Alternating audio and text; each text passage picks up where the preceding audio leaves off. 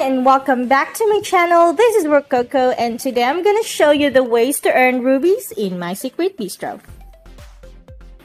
Before we start, I would just like to address a very simple question from our new players. What rubies are for? You can use rubies to buy a lot of important items in the game like the income decker. The income decker will be useful to you, especially if you're a new player.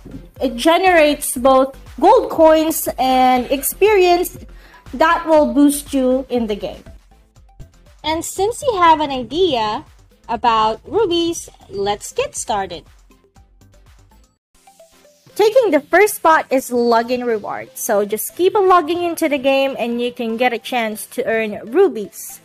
In the event that you forgot to claim your login reward, just click this board here and you'll get your rubies. Next is the lovey-dovey box. So the lovey-dovey box is given to you every single day by your staff. And the reward varies depending on the rarity of the staff that you put in your restaurant so double S grade staff gives you rubies. But the lower grade staff only gives you coins or hearts. Alright, so since this is a cooking game, it's only natural to get a reward for every upgrade of your recipe or your dishes. So you will get one ruby if you upgrade your basic dishes or your normal dishes in My Secret Bistro. So just keep on cooking. Leveling up will not only give you more access in the game, more features, and more quests. It will also give you rubies. So keep on applying for part-time jobs, keep on clicking, and keep on doing your quests to level up fast in this game. Most games nowadays will give you a reward after watching an advert.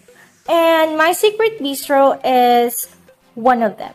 So there are two ways to watch an advert.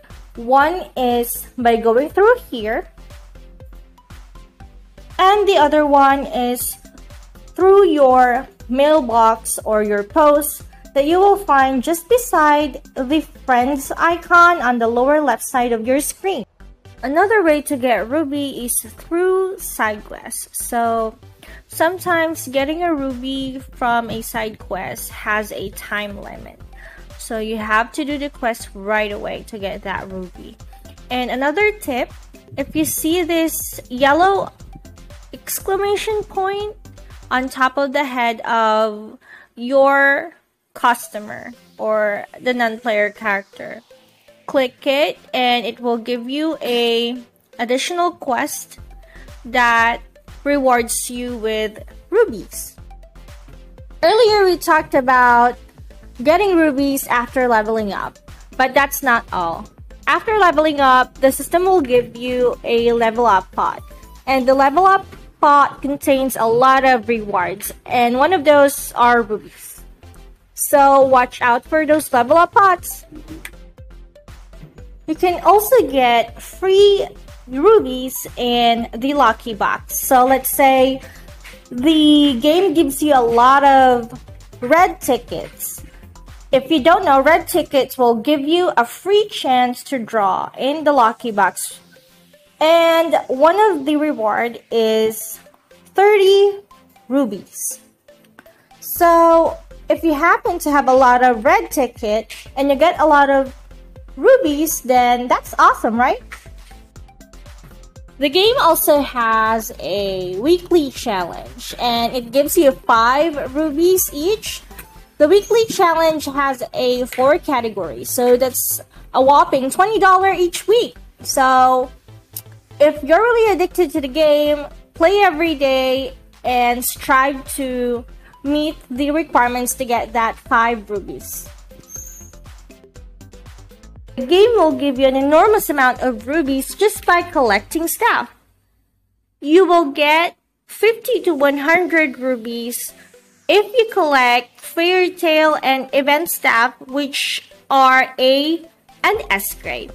You will also get 5 to 10 rubies if you collect the lower grade staff. So just keep on collecting them. Each month, the game also creates an event that gives the players an opportunity to earn more rubies. So an example is upgrading your S grade staff to a double S grade and it will give you a reward or upgrading your A grade staff to an S grade. And another example is by an accumulated purchase through the store using your real money. So it will not only give you rubies but a lot of things.